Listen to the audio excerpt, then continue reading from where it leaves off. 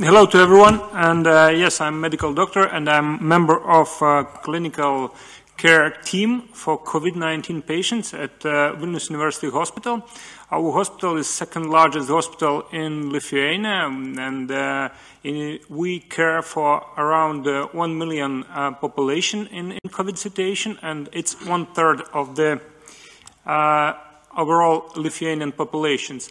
And in this area, we have 858 uh, patients diagnosed with COVID, and uh, that is roughly one half of the all Lithuanian patients. So uh, we have such some, some cases, and I would like to, to give you a short overview of the um, COVID situation from a hospital perspective at patient level. So um, uh, the beginning of the COVID uh, pandemic in Lithuania was, was steep but not huge. Uh, from uh, few cases per day, we went to dozens cases per, per day in, in actually in a week.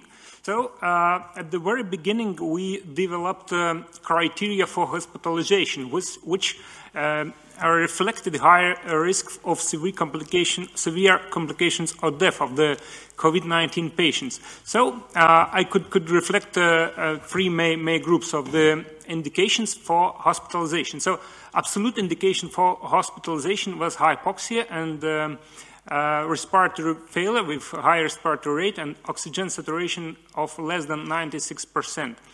And then we also have relative indications for hospitalization. So uh, first uh, group of relative indications uh, was related to uh, disease severity, and uh, that was the radiological signs of pneumonia, and also we consider lymphopenia as a significant uh, finding and the sign that, that this, may, may, this patient may have severe complication or die from COVID.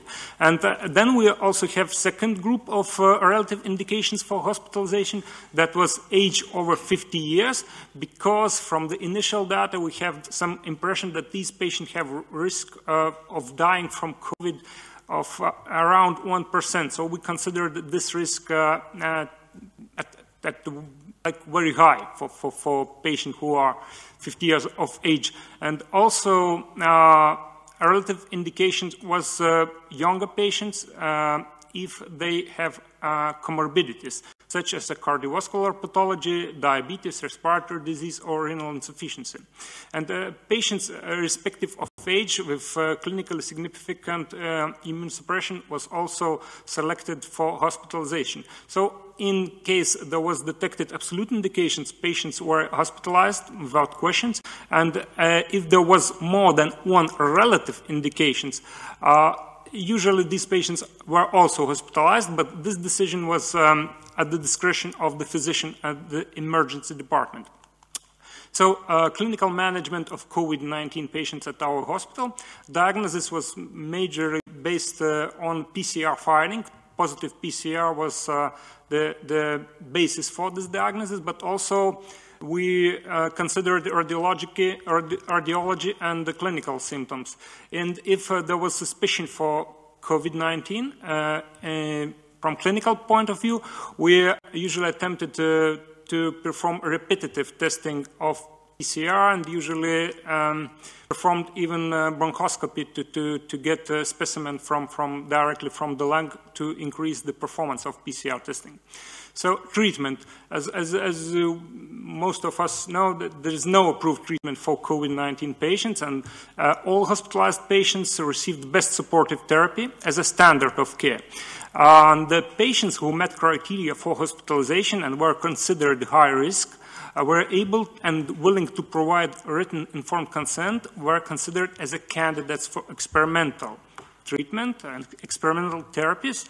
And uh, I will, will uh, um, look a little bit in more details in this group of patients uh, in next slides. After the decision of medical advisory board, some of uh, candidates, so-called candidates patients or high-risk patients were offered not approved therapies or clinical trials. And we actually have three options.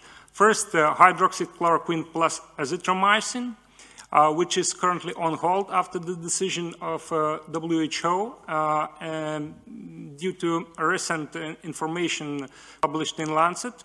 And then uh, also we for some patients, we use convalescent plasma, and currently the main option is participation in WHO-supported solidarity trial, uh, where we can use local standard of care, that is supportive care, versus lopinavir ritonavir uh, versus remdesivir, and um, hydroxychloroquine is also in this trial on hold.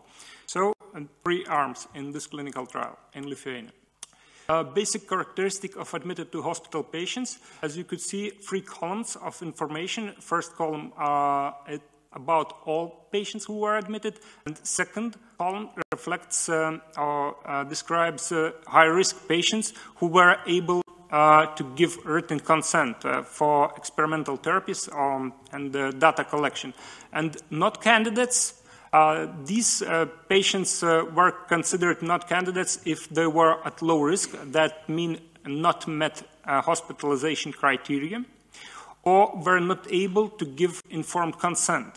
Uh, so uh, this is a mix of low-risk patients and actually very high risk patients with end-of-the-life state and very severe clinical conditions. roughly three quarters of uh, not candidates patients uh, that was uh, low risk patients, uh, young patients in good clinical shape, and uh, about one quarter was patients in, in uh, severe clinical condition or end of the life status.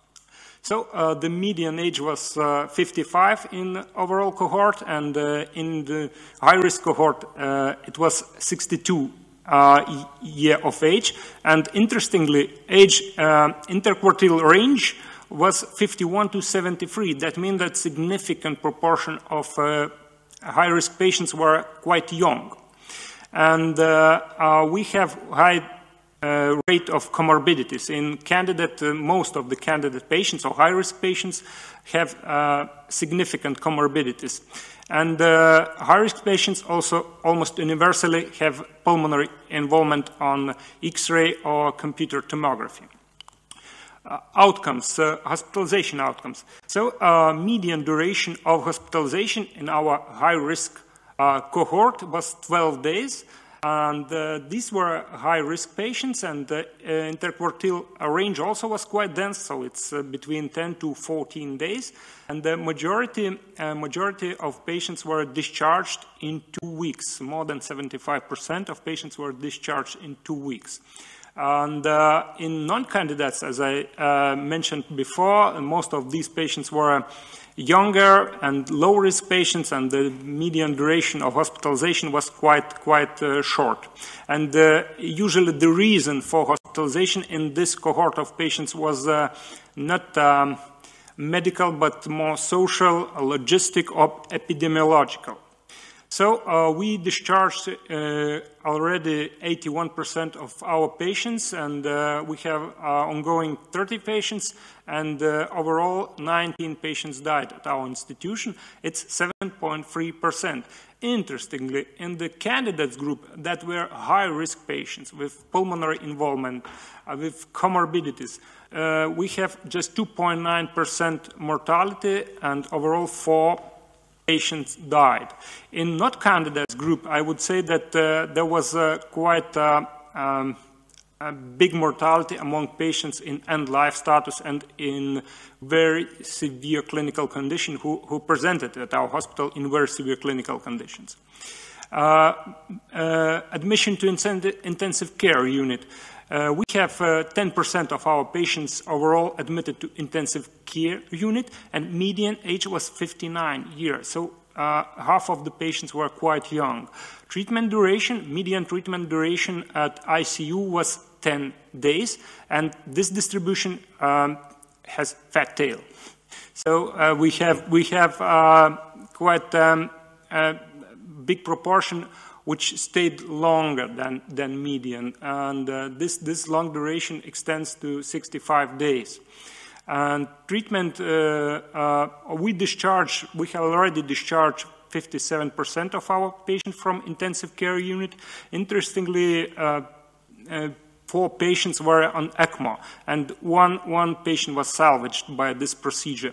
And uh, overall, I think uh, like uh, just seven patients received mechanical ventilation. We used high flow masks uh, in, in majority of our patients at uh, intensive care units. And uh, the last slide uh, was about the clinical and real life performance of PCR testing. And uh, this I would, I may call a little bit disturbing because um, uh, classical way to discharge patient is to receive two uh, negative consecutive PCR tests and to, to discharge this patient to, to the society, to home. And uh, we were able to, to achieve this goal in 60 of our patients. I would like to remind that uh, 30 patients still are at hospital, at 45%, it's including these 30 patients who are still at our hospital. And uh, uh we discharged uh, 36 patients still positive on PCR, and median time um, to discharge was two weeks. So uh, asymptomatic patients uh, who are uh, actually um, getting better and, and uh, are clinically healthy still um, usually have positive PCR. And uh, what is even more disturbing that uh, we have significant proportion of uh, conversion from negative to positive. We have 27 patients, which is 10% of all our patients who became positive after at least one negative test. And we also uh, saw patients who became positive after two consecutive negative tests. And we also have quite a big patients, uh, it's not so big, just eight patients, but uh, with multiple positive to negative conversions. And uh, also, there were six patients with the PCR positivity extending to more than one month.